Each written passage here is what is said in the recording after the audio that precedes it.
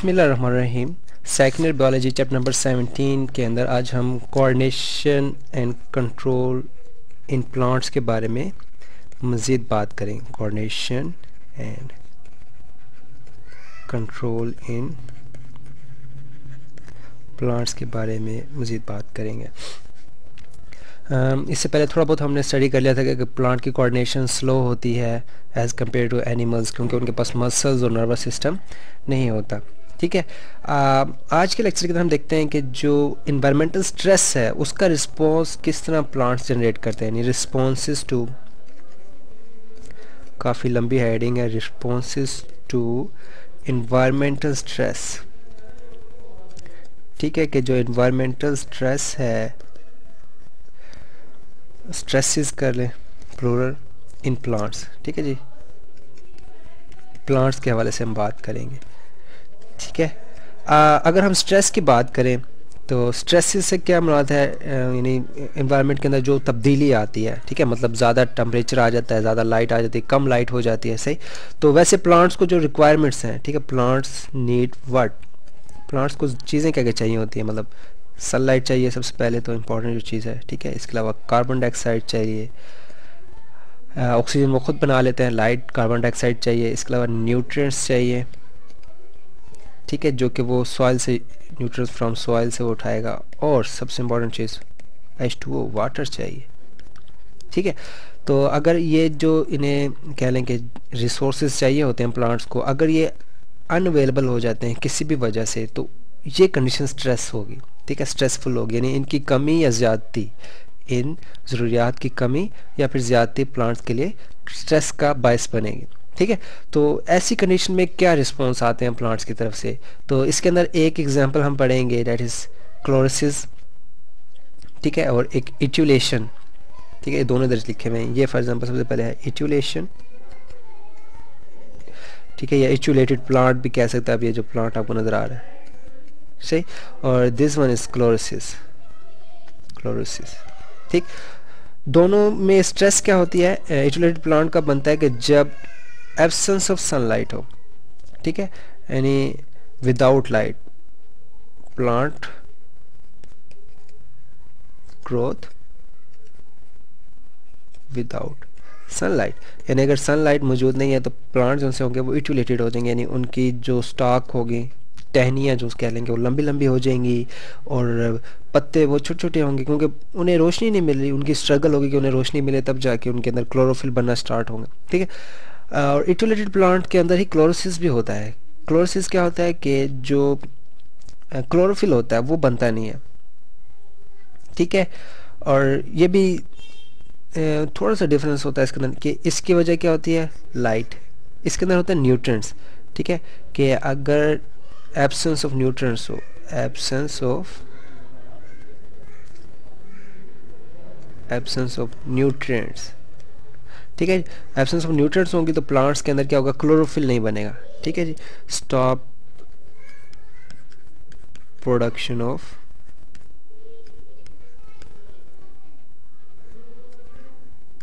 Chlorophyll ठीक है? अब क्लोरोफिल का आपको आइडिया होना चाहिए। क्लोरोफिल ग्रीन पिगमेंट है प्लांट के अंदर, जो कि फोटोसेंसिस करते हैं। ठीक है? तो अगर न्यूट्रिएंट्स नहीं होंगे ठीक है जी। तो if there is no nutrients absence of nutrients then plant will be chlorosis के अंदर जाएगा कैटेगरी के अंदर ठीक है? और अगर प्लांट um, um, को सनलाइट नहीं मिल रही तो प्लांट जो है वो एचुलेटेड प्लांट्स की कैटेगरी के अंदर एचुलेशन हो जाएगी यानी उसकी स्टॉक बढ़ जाएँगी और पत्ते बहुत छोटे छोटे हो जाएँगे। क्लोरोसिस क्या है? जब न्यूट्रेंट्स नहीं मिल पड़ेंगे एब्सेंस ऑफ़ न्यूट्रेंट्स के अंदर। ओके okay, ये तो एग्जांपल्स हो गए कि प्लांट का जो बिहेवियर था स्ट्रेस के अंदर कि जब उनके न्यूट्रिएंट्स या फिर लाइट का प्रॉब्लम होता है सही? अब बाज़त क्या होता है कि जिस तरह इंसानों में बीमारियाँ होती हैं इस तरह प्लांट्स के अंदर भी बीमारियाँ होती हैं ठीक है? उसके अगेंस्ट में क्या रिस्पॉन्स आता है? ठीक है पैथोजेंस के अगेंस्ट के अंदर। ठीक है आपके सामने फिगर आ गई है वैसे आप अंदाज़ा लगा सकते हैं कि इसे हम कहेंगे डिफेंस अगेंस्ट द पैथोजेंस ठीक है? Defence against pathogen in plants ठीक है कि पैथोजेंस के अगेंस्ट जो डिफेंस है वो प्लांट्स का किस तरह का होता है। तो इसमें जो प्लांट्स हैं, वो गाल्स बनाते हैं। ठीक है, ये जो स्ट्रक्चर नज़र आ रहा है it is known as galls ठीक है गाल्स आर कह लेंगे इंड्यूस्ड सेल प्रोडक्शन होती है, ठीक है? कि सेल प्रोड्यूस होते हैं इंड्यूस सेल प्रोडक्शन है to difference difference against pathogen ठीक है? यानी ह्यूमन कैंसर तो स्पेशल एंटीबॉडीज़ बनती हैं, फिर मैक्रोफेजेस होते हैं जो सेल्स को खा जाते हैं बीमारी के केस के अंदर, लेकिन इसमें इस तरह नहीं होता, बल्कि ये क्या करते हैं कि ऐसी ग्रोथ बना देते हैं उस ऑर्गेनिज्म के इर्द गिर्द ठीक है? यानी इस यहाँ पे अगर वायरस मौजूद है तो इसके इर्द गिर्द इस तरह की ग्रोथ बन जाती है कि इसकी सप्लाई तोड़ देते हैं वो। ठीक है? They just limit the supply of the pathogen और पैथोजिन फिर उसके अंदर मर जाता है। सही? सो यानी गाल्स इंड्यूस सेल प्रोडक्शन होती है to defend against the pathogen और ये बहुत से वायरल डिज़ीज़ के अंदर बनता है और बैक्टीरियल डिज़ीज़ के अंदर बनता है। ठीक है? जो बैक्टीरियल डिज़ीज़ होते हैं और इनके जो सेल्स होते हैं cells of galls are less differentiated. ठीक है, एक स्टेटमेंट इसके आपको सही मैं समझाता हूँ क्या होता है। लेस डिफ्रेंशिएटेड से क्या मुराद है कि ये जो सेल्स बनेंगे, इसे ना आप मेजन कायमा कह सकते हैं। ठीक है? ना ये आपके पैरन कायमा टिश्यूज़ होंगे, ठीक है? तो इनकी जो डिफ्रेंसिएशन होती है बहुत डिफरेंट होती है। ना मिजन कायमा, ना पैरन कायमा, ठीक है? ना ये, यानी किसी कैटेगरीज के अंदर नहीं आते। So they are less differentiated क्यों? क्योंकि ये सिर्फ़ डिफेंस को डिफेंस के लिए यूज़ होते हैं, ठीक है? इनका और किसी प्रोडक्शन के अंदर नहीं हेल्प यानी कोई, यानी ये जिस तरह होते हैं ना आपके जायलामेंट फ्लोए में कि वो वाटर और फ़ूड कंडक्शन करते हैं। उस तरह के सेल्स नहीं हैं ये। ठीक है, ना ही ये क्लोरोफिल इनके अंदर होता है। So they are less differentiated इन्हें आप बता नहीं सकते कि किस कैटेगरी के सेल्स हैं। सही? ख़ासतौर पर जो बैक्टीरियल बैक्टीरियल इन्फेक्शन की वजह से जो गाल्स बनते हैं, वो लेस डिफ्रेंशिएटेड होते हैं। ओके ये हो गया गाल्स गाल्स के अलावा एक और चीज़ प्रोड्यूस करते हैं, उन्हें हम कैलसिस कहते हैं। कैलिसिस, के जब कभी स्टेम काटी जाती है मतलब ये इसकी एक टहनी थी यहाँ पे अगर आपको नज़र आ रहा हो, ये टहनी यहाँ से काटी गई है, ठीक है?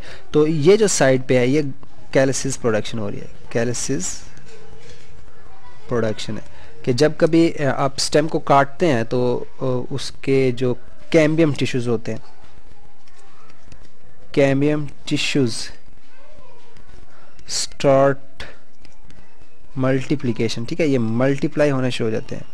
Start multiplication. Start multiplication when, कब मल्टीप्लिकेशन होगी? When plant is wounded. कि जब प्लांट को ज़ख्मी किया जाता है तो वहाँ पे उनकी मल्टीप्लिकेशन स्टार्ट हो जाएगी, ठीक है जी? और वो मल्टीप्लिकेशन के रिज़ल्ट में हमारे पास क्या बनेगा? कैलेसिस फॉर्मेशन होगी। कैलेसिस फॉर्मेशन होगी। जिस तरह अगर आपकी बॉडी पे ज़ख़म लगता है तो वो आहिस्ता आहिस्ता उसके ऊपर अगर आप देखें ना तो कनेक्टिव टिश्यूज़ होते हैं जो आके जमा होना शुरू हो जाते हैं और फिर वो ज़ख़म भर देते हैं ब्लीडिंग रुक जाती है। इस तरह कैलेसिस भी तकरीबन सेम रोल ही है कि ये आ, जो कटेड एरिया होता है जहाँ पे वाउंड होता है वहाँ पे आके वो गैदर होना शुरू हो जाते हैं वहाँ से यानी ब्लॉक करते हैं ठीक है? जो बकाया मैकेनिज्म बॉडी का जो बकाया मैकेनिज्म है वो डिस्टर्ब ना हो। इस तरह वो आके अरेंज होते हैं ठीक है? इन्हें हम कैलस फॉर्मेशन कहते हैं।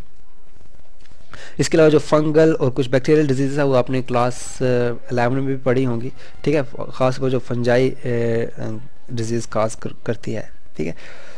सो so, ये हो गया डिफेंस अगेंस्ट पैथोजेंस और कह लें कि जो इंजरी होती है इंजरी के अगेंस्ट क्या रिस्पॉन्स होता है वो अभी हमने प्लांट्स का पढ़ लिया। अब हम आते हैं एक और बड़ा कह लें कि सीरियस टॉपिक है जिसे हम बायोलॉजिकल रिदम कहते हैं। बायोलॉजिकल रिदम या फिर बायोलॉजिकल क्लॉक भी कह सकते हैं, या सर्केडियन रिदम भी कह सकते हैं। ठीक है जी? बायोलॉजिकल रिदम या फिर क्लॉक ठीक है? होता है क्या है कि हर एक के जीनोम के अंदर, ठीक है? मसलन ये मैंने अपनी थोड़ी डायग्राम पढ़ी, कर देता हूँ। मसलन ह्यूमंस के बारे में बताया हुआ है कि हर जिन जीनोम के अंदर एक, कह लें कि टाइम सॉरी हर जीनोम के अंदर एक कह लेंगे क्लॉक फिट होती है, इंटरनल क्लॉक उसे कहा जाता है, ठीक है, जिसके मुताबिक ऑर्गेनिज्म जो है वो अपनी डेली लाइफ गुजारता है, ठीक है। वो बायोलॉजिकल रिदम में अगर हम इसे थोड़ा क्लासिफाई करें, दो किस्म है, एक डायर्नल है, ठीक है जी, और एक सरकेनवल है। सरकेनवल डायर्नल कहते हैं डेली के लिए, यानी डेली से हमारा ट्वेंटी फोर आवर्स, ठीक है, और सरकेनवल होता है हमारे पास फॉर थ्री सिक्सटी डेज़ या फिर वन ईयर भी कह सकते हैं कि ईयर वाइज जो सा होता है। तो ये ह्यूमन डायर्नल रिदम है, जिसके अंदर इन्होंने लिखा हुआ है कि जी, जब आप सुबह होती है, ठीक है तो यहाँ पे ब्लड प्रेशर आपका बढ़ जाता है मेलाटोनिन स्क्रीशन स्टॉप हो जाती है मेलाटोनिन जो सा है, ये नींद को बढ़ाती है तो यहाँ पे नींद कम होना शुरू हो जाती है, ठीक है जी। और फिर टेस्टोस्टेरोन लेवल जो कि हार्मोनल लेवल है मेल के अंदर वो इंक्रीज़ होता है, ठीक है? फिर अलर्ट होता है दस बजे तक, ठीक है? अलर्टनेस सबसे ज़्यादा होती है दस बजे, सही है? और नून बारह के बाद बेस्ट कोऑर्डिनेशन तकरीबन दो बजे के करीब होती है, फिर फास्ट रिएक्शन तीन बजे। Greatest cardiovascular and muscle strength जो सी है वो तकरीबन आपकी हो जाएगी पाँच बजे। इस टाइम आप, यानी कह लें कि कार्डियोवेस्कुलर एफिशिएंसी काफ़ी इंक्रीज यानी दिल की धड़कन वगैरह सब कंट्रोल में होती है। और आपकी स्ट्रेंथ भी ज़्यादा होती है। फिर ब्लड प्रेशर जो है वो शाम तकरीबन छः बजे से बढ़ना शुरू होता है। हाईएस्ट ब्लड प्रेशर यहाँ पर ज़्यादा होता है। फिर सात बजे आपका सबसे ज़्यादा बॉडी टेम्परेचर होगा। और और और नौ बजे आपका मेलाटोनिन स्क्रेशन स्टार्ट हो जाता है। मेलाटोनिन से क्या होती है? आपकी नींद आना स्टार्ट हो जाती है। फिर दो बजे के करीब सबसे गहरी नींद होती है। और सबसे कम टेम्परेचर जो है वो चार, साढ़े चार बजे होता है आपका। ठीक है सुबह के साढ़े चार बजे। तो ये एक कह लें कि इंटरनल क्लॉक है। तो क्या यही हर एक की लाइफ में होती है? नहीं, ऐसा नहीं होता। यानी every one is every one do not fit in this clock यानी every one do not fit ठीक है? वाई कि हर एक के लिए ये रिदम फिट क्यों नहीं होती? हालाँकि ये हमारे जिनोम में है। वजह ये होती है कि इन्वायरमेंट बहुत मैटर करता है। इन्वायरमेंट चेंजेस अलॉट ठीक है जी? आ, किस चीज़ को चेंज करेगा? डेली रिदम को। ठीक है? कि इन्वायरमेंट जो है वो डेली रिदम को बहुत ज़्यादा चेंज करता है। ठीक है? फॉर एग्ज़ाम्पल वर्ड के शहरों के अंदर आ, जो लोग होते हैं वो रात देर से सोते हैं ठीक है? और सुबह देर से उठते हैं। ठीक है क्योंकि उनकी इन्वायरमेंट के अंदर ऐसा होता है कि मतलब रात के बारह एक बजे तक जो है वो लाइट ऑन रहती है घर के अंदर। तो उसकी वजह से उनके जो हार्मोनल चेंजेस होते हैं या डेली रिदम है, वो भी चेंज हो जाती है। ठीक है? सो डेली रिदम फिर कहेंगे किसे? यानी रिदम इसे हम कहेंगे फॉर एग्ज़ाम्पल बायोलॉजिकल क्लॉक जो है क्लॉक किस वजह से होती है? इसकी आपके पास दो रीज़न है। एक तो है आपके पास इंटरनल है कि जेनेटिक्स हैं फॉर एग्जांपल इंडोजीनियस स्टिमुलाइज होती हैं। ठीक है first one is indigenous stimuli कहेंगे। इंडोजीनियस स्टिमुलाई सबसे बड़ी आपकी जेनेटिक्स है कि जेनेटिक्स के अंदर एक कोड लिखा हुआ है कि बंदे ने यानी इस रात के इस टाइम में जो है वो मेलाटोनिन स्क्रीट होना स्टार्ट हो जाएगी तो ये इंडोजीनियस स्टिमुलाई है। ठीक है एग्जांपल के तौर पर मेलाटोनिन स्क्रीशन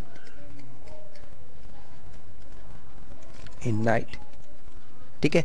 ये हर एक के जीनोम के अंदर लिखा हुआ है। ठीक है? कुछ एक्सोजीनियस है।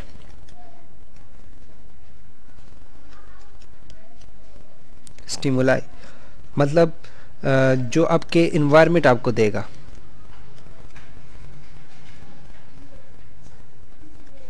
इन्वायरमेंट क्या देता है? फॉर एग्जांपल सनलाइट जो सा है सॉरी एग्जांपल के तौर पर सनलाइट ये आपके मेलानिन प्रोडक्शन करती है। मेलानिन प्रोडक्शन जो ब्लैक कलर भी स्किन को देती है, ठीक है? तो मेलानिन प्रोडक्शन कब होगी? जब सनलाइट होगी, ठीक है? अब ये एक्जोजिनस स्टिमुलाई है। तो जो जो दिन के टाइम कह लें कि सनलाइट होगी तो विटामिन डी भी बनेगा मेलानिन भी बनेगा। रात को नहीं होगी तो नहीं बनेगा। तो ये भी एक किस्म की बायोलॉजिकल क्लॉक बन जाती है, ठीक? लेकिन जो इन दोनों से इंपॉर्टेंट है, वो थर्ड है कि जो मिक्स है mixture of one and two ठीक है? मोस्टली ये होता है। मोस्ट प्रोबेबल यही चीज़ होती है। मतलब इंडोजिनस स्टिमुलाई ये कि रात के तकरीबन नौ बजे जो है, नौ पीएम के ऊपर मेलाटिन प्रोडक्शन स्टार्ट हो जाए। लेकिन शहरों में क्या होता है कि मेलाटिन प्रोडक्शन लेट हो जाती है। दस तक, ग्यारह तक चली जाती है। वजह क्या होती है कि लाइट्स ऑन रहती हैं। ठीक है? इन्वायरमेंट की वजह से कि इन्वायरमेंट प्लस इन्वायरमेंट के साथ जो चीज़ मैटर करेगी आपका जेनेटिक्स ठीक है इन्वायरमेंट प्लस जेनेटिक्स के साथ जो रिज़ल्ट बनेगा, वो ज़्यादा अप्रोप्रिएट है जो कि आजकल अप्लाई होता है। सही? अच्छा यहाँ पे एक, इसको प्रूव करने के लिए एक छोटा सा एक्सपेरिमेंट भी दिया है, ठीक है, जो कि एरविन बनिंग ठीक है जी? एरविन बनिंग एक साइंटिस्ट था। यहाँ पे मैं लिख देता हूँ। एरविन बनिंग उसने क्या किया कि ड्रोजोफिला एरविन बनिंग ने ड्रोजोफिला मिलानोगेस्टर जो सा, है, जिसके ऊपर टी एच मॉर्गन ने भी एक्सपेरिमेंट किए थे।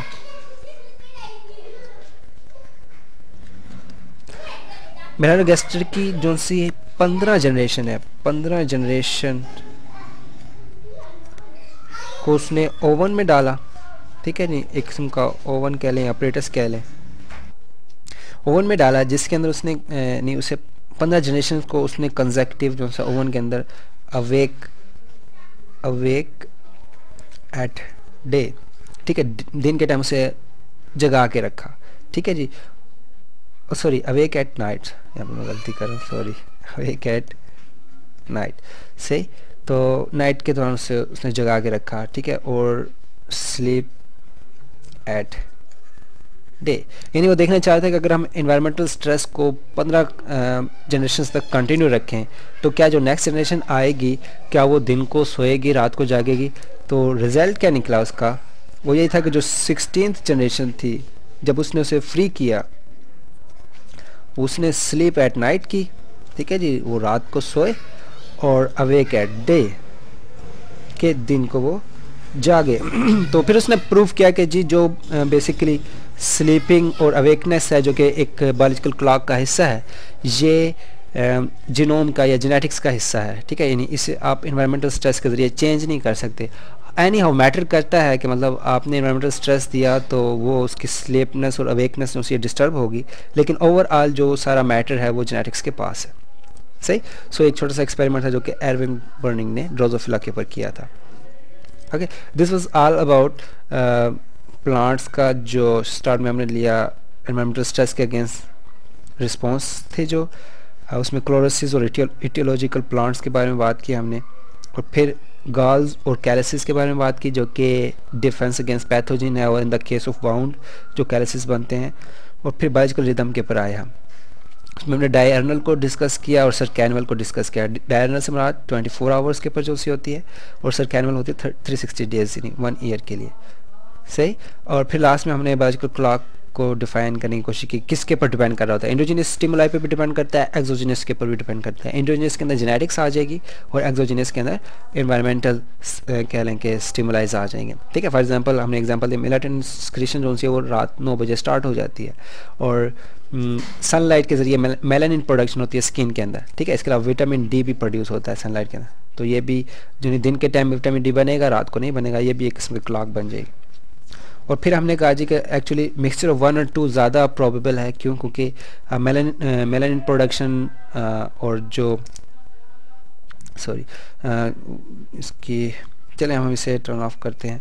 मेरा लैपटॉप बंद होने वाला है। सही? सो so, आखिर में हमने एयरविन बर्निंग का भी एक्सपेरिमेंट स्टडी किया।